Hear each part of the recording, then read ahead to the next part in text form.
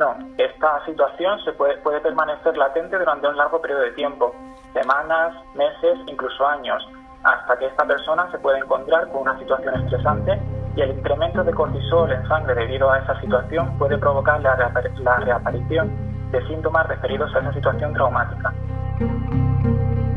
En muchísimos procedimientos judiciales nos hemos encontrado con que la defensa de los agresores eh, han puesto como excusa o como justificación que la mujer llevaba una vida normal. En el trastorno postraumático les les empiezan a venir sin que ellas quieran esos pensamientos, esas imágenes de, del trauma vivido, como esas imágenes les hacen sentir mal, ellas intentan quitárselo de la cabeza.